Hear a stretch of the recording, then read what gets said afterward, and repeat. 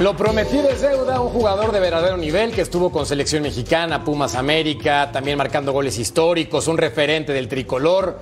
¿Para qué digo más? Me tocó compartir con él, no la cancha, evidentemente, porque yo soy un tronco, pero sí el pupitre, y eso me llena de orgullo. Braulio Luna, figura, ¿cómo estás? Bienvenido a Punto Final, ¿cómo te va? ¿Qué tal? ¿Cómo están? Muy buenas noches. Gusto de estar con ustedes, con, con pura gente bueno, menos Cecilio, pura gente de calidad. Sí, esa pausa dramática dejó todo en claro. Lo pensó, lo pensó. Pero lo hizo muy bien. Lo hizo muy bien. No, Braulio, estamos platicando obviamente del clásico entre Pumas y América. Y la primera pregunta para ti es, ¿qué oportunidad le ves con estas circunstancias al equipo universitario de competirle a las Águilas en este partido? Pues si nos vamos por el tema de las estadísticas, tiene pocas posibilidades. ¿No? Vas a enfrentar al, segundo lugar de, del torneo con 30 puntos. Eh, Pumas estás en el lugar 12 con 17 puntos. Eres de, de, las defensivas más goleadas. Te vas a enfrentar a una de las ofensivas más importantes del torneo. Los recambios que tiene el plantel. O en, todo el panorama América se ve ampliamente super, superior. Pero este tipo de partidos siempre tiene un, ingrediente extra. Y creo que el turco Mohamed ha encontrado un poco de equilibrio en estos Pumas que venían muy moribundos casi toda la temporada. Braulio, te, mando un abrazo, sabes que te respeto, no te voy a decir nada, al revés te voy a saludar. Jugaste ah, bueno que lo respetas. Jugaste en los dos. Más te vale.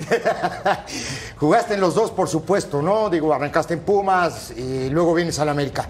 Yo hace un rato eh, preguntaba, le preguntaba a los muchachos, ¿tiene Pumas hoy un material humano para ganarle al América, línea por línea? Porque este, este equipo es el mismo que tenía Rafa Puente. Sí, digo, los defensas son los mismos, esos que eran una promoción normalmente cuando los atacaban, y arriba de vez en cuando aparecía dinero. Entonces digo yo, ¿de verdad hoy Pumas está para competirle al América? Bueno, tú sabes que este tipo de partidos tienen un ingrediente extra, ¿no? Esta pasión de querer quedar bien con tu afición, con la institución, y eso es a lo que puede apelar eh, los Pumas y a lo que puede tratar de abogar el turco Mohamed en, la cuestión de su estrategia.